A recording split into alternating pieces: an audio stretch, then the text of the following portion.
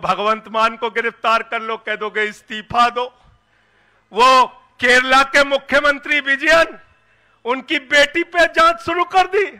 कहेंगे, विजयन जी इस्तीफा दो। ममता बनर्जी जी के भतीजे पे जाँच शुरू कर दी। कहेंगे, ममता बनर्जी जी इस्तीफा दे दो।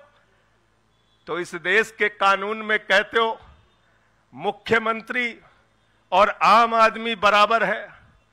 तो जरा मुझे बताइए, सोमनाथ भारती कानून के जानकार हैं? क्या प्रधानमंत्री को कानून में छूट है?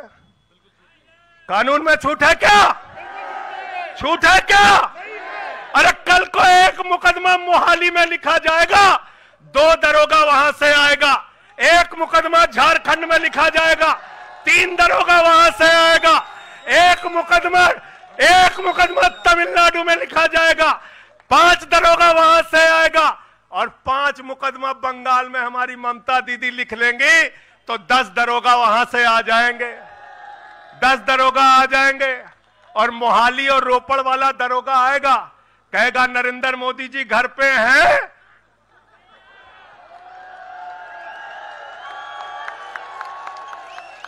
तो भाजपाइयों जवाब दो इसका।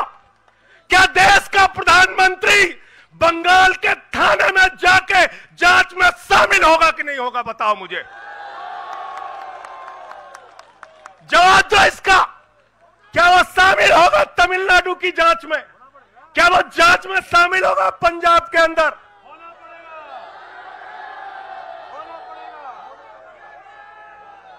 दरोगा, डीएसपी, एसपी, इन्हीं विपक्ष के राज्यों से। रेवंत रेड्डी के राज्य से सिद्धारमैया के राज्य से पहुँच गए गृह मंत्री अमित शाह के घर में बोले, अमित शाह है? उससे पूछताछ करनी है।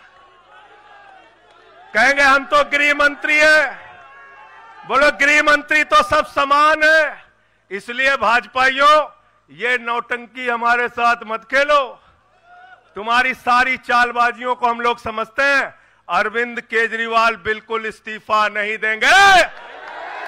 और दिल्ली की दो करोड़ जनता के, दिल्ली की दो करोड़ जनता के लिए काम करेंगे।